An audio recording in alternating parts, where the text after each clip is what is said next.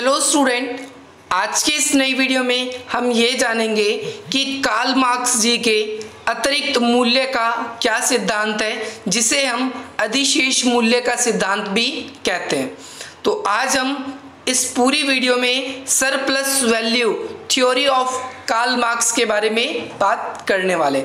जब कभी भी हम कार्ल मार्क्स के अतिरिक्त मूल्य के सिद्धांत या फिर अधिशेष मूल्य के सिद्धांत के बारे में बात करते हैं तो हमें सबसे पहले कार्ल मार्क्स के राजनीतिक दर्शन का ज्ञान होना बहुत ज़रूरी है, क्योंकि कार्ल मार्क्स की ये पूरी की पूरी विचारधारा उनके विचारों पर ही आधारित है। यानी अगर आप लोगों ने कार्ल मार्क्स के विचारों को अच्छे से समझ लिया कि क्या उनके राजनीतिक राजनीतिक विचार थे तो आप बिल्कुल आसानी से उनके अतिरिक्त मूल्य का सिद्धांत, जिसे अधिशेष मूल्य या अंग्रेज़ी में सर प्लस वैल्यू थ्योरी भी कहा जाता है। तो सबसे पहली बात आपको ये ध्यान रखनी है कि कार्ल मार्क्स जी अपने अतिरिक्त मूल्य या अधिशेष मूल्य के प्रतिपादक थे।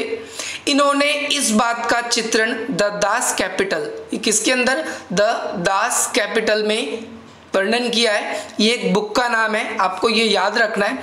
और साथ ही साथ आपको ये भी याद रखना है कार्ल मार्क्स जी ने इस पूरे के पूरे सिद्धांत के थ्रू ये दर्शाना चाहा है या ये दर्शाने का प्रयास किया है कि किस प्रकार से पूंजीपति समाज में, कहाँ पर? पूंजीपति समाज में पूंजीपति श्रमिकों का शोषण करते हैं और मजदूरों द्वारा जो भी वस्तु निर्मित की जाती है, उससे मिलने वाली इनकम को एकमात्र रूप से एकत्रित कर लेते हैं।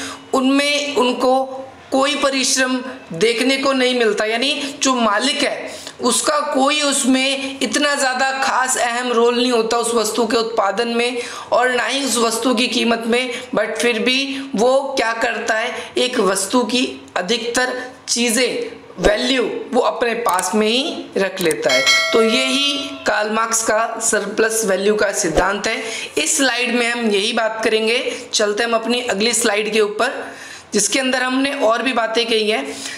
तो कार्ल मार्क्स के जो ये सरप्लस वैल्यू का जो ये थ्योरी है, इसे आपको ध्यान रखना है कि इसे अधिशेष मूल्य का सिद्धांत भी कहा जाता है। पेपर में कई बार ऐसे पूछा जाता है कि भाई कार्ल मार्क्स द्वारा वर्णित या फिर अधिशेष मूल्य के सिद्धांत के बारे में बताइए, या आपको इसकी अंग्रेज़ी भी याद रखनी है। दूसरी बात, आपको कार्ल मार्क्स के इस अतिरिक्त मूल्य के सिद्धांत को समझने से पहले मूल्य के स्वरूप को समझना होगा। मूल्य का स्वरूप का मतलब क्या है कि कोई वस्तु है, उसकी कीमत किस प्रकार से, किस आधार से तय की जाती है।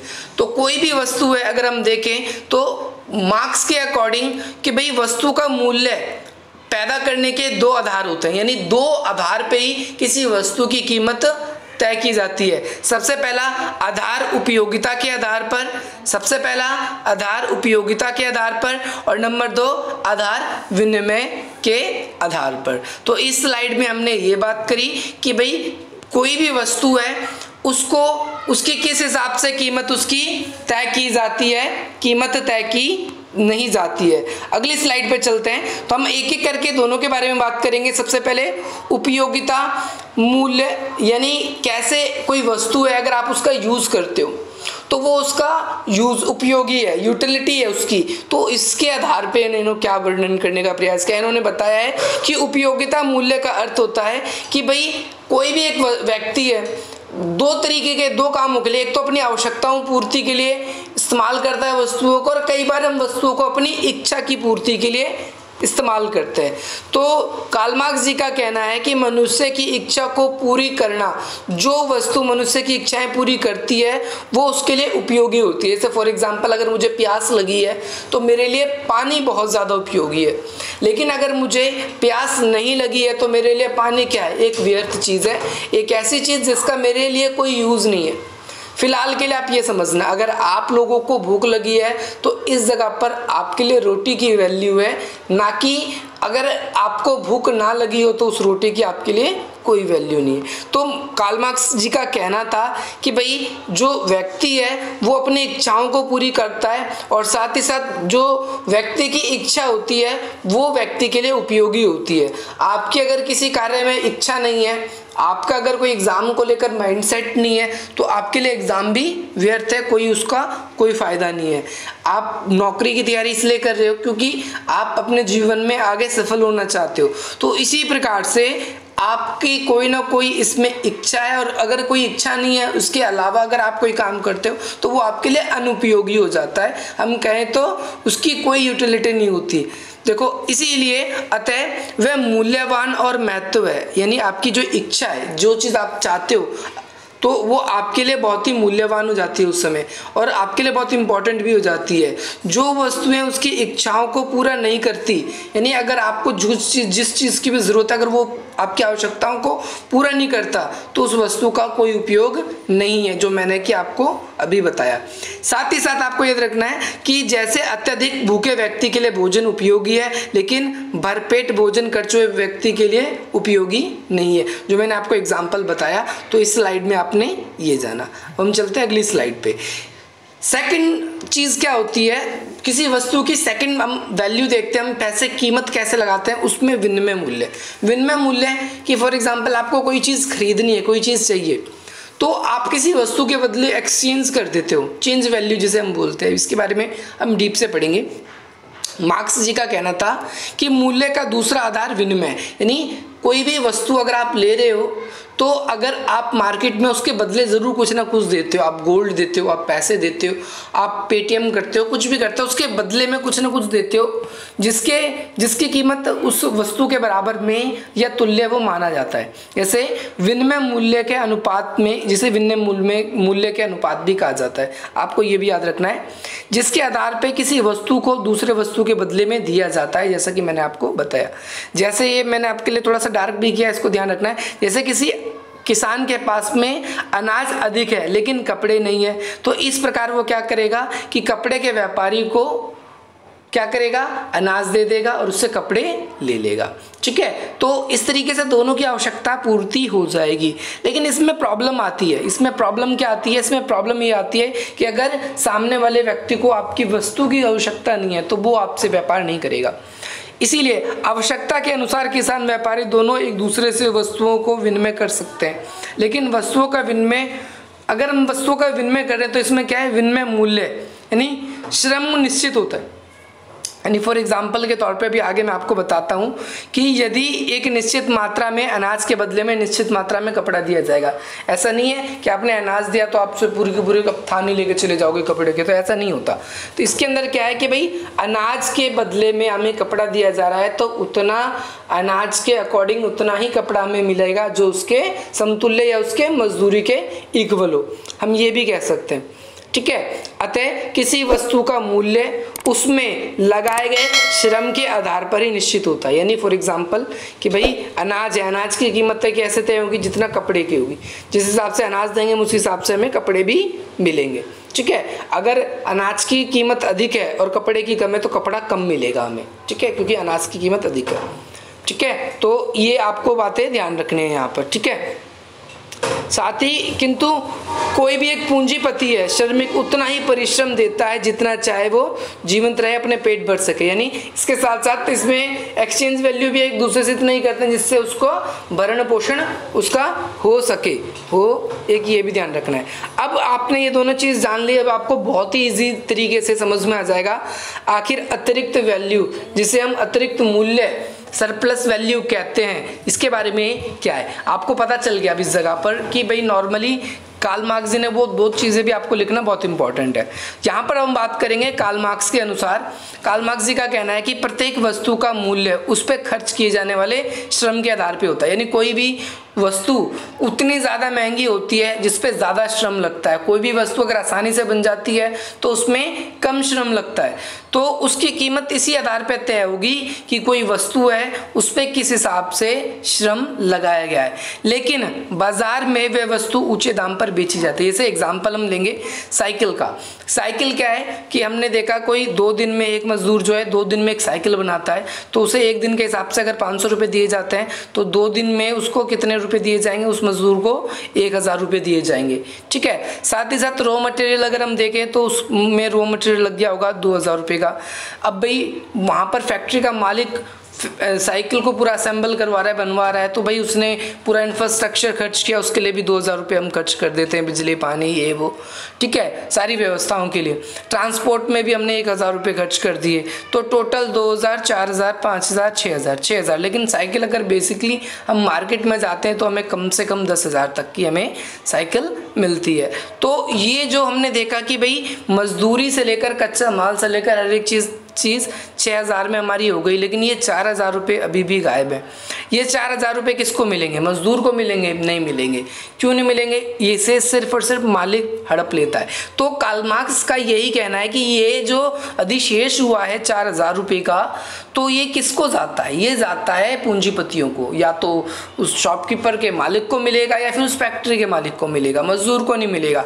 बल्कि इसमें पूरी की पूरी साइकिल बनाने में मेहनत किसकी लगी? मजदूर की लगी और उसको ही ये चीज़ें नहीं मिलेगी।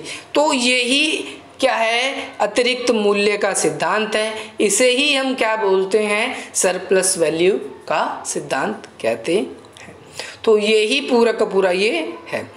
आशा करता हूँ आपको ये समझ में आया होगा। अब अब ज़रा एक एक लाइन में मैं आपको अच्छी तरीके से समझा देता हूँ कि मार्क्स के अनुसार प्रत्येक वस्तु का मूल्य उस पर खर्च किए गए श्रम के आधार पे होता है। लेकिन बाज़ार में वह वस्तु ऊँचे दामों पर बेची जाती है जैसा कि मैंने आपको बताया, और उसमें बेचने से प्राप्त होने वाला जो भी अतिरिक्त धन या अतिरिक्त पूंजी होती है, वो सारा का सारा पूंजीपति की जेब में चला जाता है।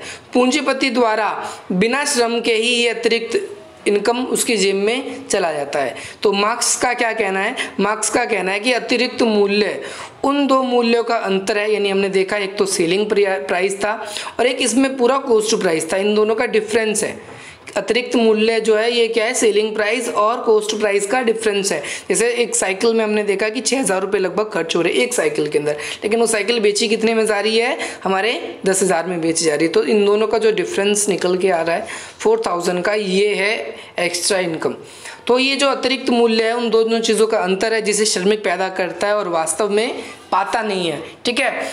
कौन पाता है? मालिक पाता है, यानी पूंजीपति पाता है। ये वो मूल्य है जिसे पूंजीपति श्रमिक के कारण प्राप्त करता है। अभी जैसे श्रमिकों के कारण ही प्राप्त करता है, और जिसके लिए श्रमिकों को कुछ प्राप्त नहीं होता, उन्हें बस बदले में क्या मिलता है? दस हज़ार की साइकिल बनाने में सिर्फ़ एक दिन के पाँच सौ रुपये मिलते हैं। तो हमने क्या पाया? हमने पाया कि यही एक्स्ट्रा इनकम है। और मैक्सी की भी इसके बारे में थोड़ा सा हमें बताते हैं, ये भी इंपॉर्टेंट है कि ये वह मूल्य है जो पूंजीपति श्रमिकों के खून पसीने की कमाई पर टोल टैक्स के रूप में वसूलता है। भाई, मैक्सी का कहना है अतिरिक्त वैल्यू क्या होता है कि ये टोल टैक्स या फिर कह सकता है कि भाई मैंने इतना बड़ा इंफ्रास्ट्रक्चर तैयार किया है, मेरे को इतनी बड़ी बड़ी मशीनों की ज़रूरत पड़ती है, भाई और भी चीज़ों की ज़रूरत पड़ती है देख रेख की ज़रूरत पड़ती है तो इसीलिए मैं एक्स्ट्रा लेता हूँ। तो ये मैक्सी का कहना है कि भैया ये टोल पसीन जो कहता है कि श्रमिकों की जो खून पसीने की कमाई है, ये टोल टैक्स के रूप में लेता है। उदाहरण के लिए, अब इसमें भी मैंने आपको एक अच्छा एग्ज़ाम्पल दिया है कि यदि कोई पूंजीपति एक पेन बनाने के लिए दस रुपये में खरीदता है, पेन क्या करता है? अब आप देखो कि कोई पूंजीपति पेन बनाने की सामग्री दस रुपये में खरीदी और उसे बनाने वाले मजदूरों को तीन रुपये देता है, यानी टोटल कितने रुपये खर्च हो गए? तेरह रुपये हो गए। लेकिन मार्केट में ये बीस रुपये में बिकता है। ये सात रुपये जो एक्स्ट्रा इनकम है, वो किसको मिलता है? मालिक को मिलता है।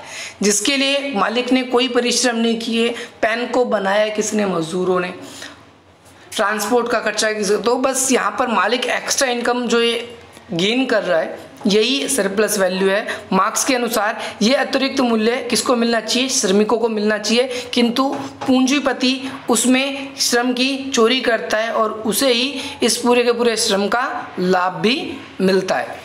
साथ ही साथ आपको ये ध्यान रखना है, ये चोरी उसका लाभ है। ये किसकी चोरी है? ये जो श्रमिकों का जो ये पैसा चुरा रहा है, कौन? पूंजीपति, ये श्रमिकों की मजदूरी है। इसे कौन चुरा रहा है? पूंजीपति। इसी से निरंतर वह पूंजी निर्माण करता है, नहीं, इसी से पैसे कमाता रहता है, कमाता रहता है, कमाता रहता है और एक छोटा सा व्यापारी आगे चल के एक बहुत बड़ा उद्योगपति भी बन जाता है।